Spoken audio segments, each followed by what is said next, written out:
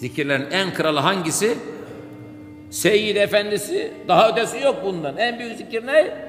La ilahe illallah. En tonajlı. Bundan daha büyük dua yok. En büyük dua ne? Elhamdülillah. Yemek yerken arkadaşlar Besmele ile başlarsanız hamdle bitirirseniz bir şey içerken hemen başlıyoruz. Besmele ile başladınız Bismillah. Hmm. Elhamdülillah. Diye bitirdiniz. Ne kadar yerseniz yiyin.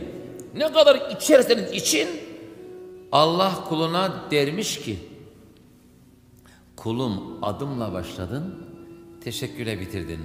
Bunun hesabını sormayacağım derim.